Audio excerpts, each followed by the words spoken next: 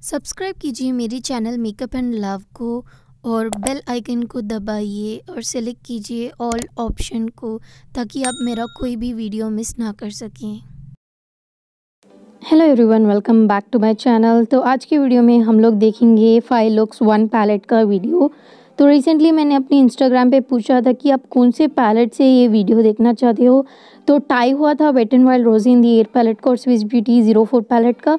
तो फिर से मैंने पोल किया और पूछा देन ज़्यादातर लोगों ने स्विस ब्यूटी या शेडो को सिलेक्ट किया था और रिप्लाई भी किया था। So here's the video I am go gonna divide this whole five looks kind of video into five different videos क्योंकि मैं सारी लुक्स एक वीडियो में करना चाहती थी।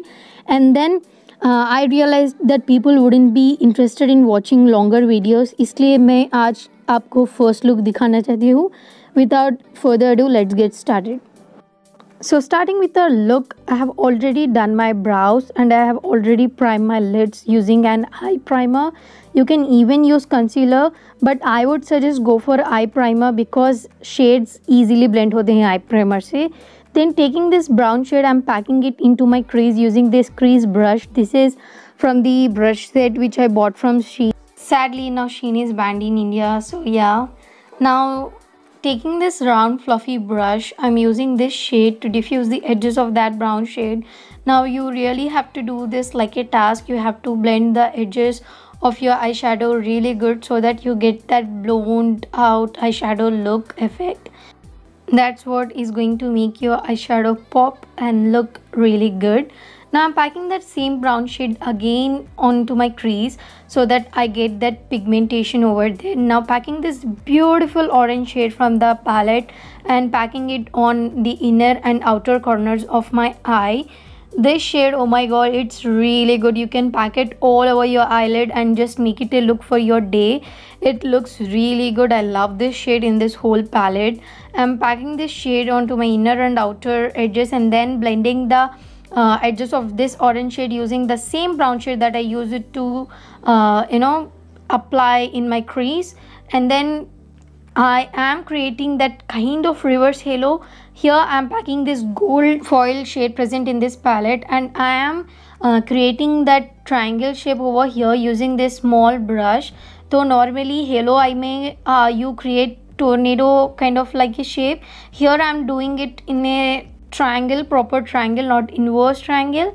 So this is how the look turned out. I really love the look. You know it was looking really great in real life than on camera to be honest.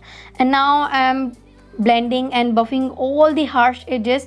You kind of see kind of like a patchy thing on the outer corner of my eye.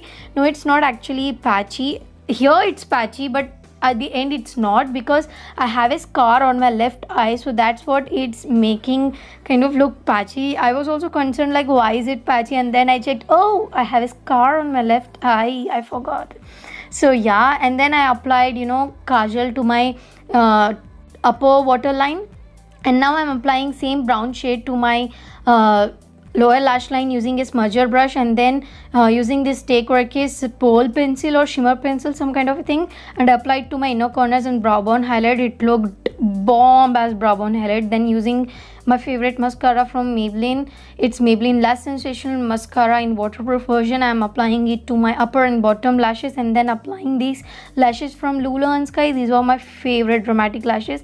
And then here as I said I'm trying to blend and blend and blend and blend because it was looking patchy.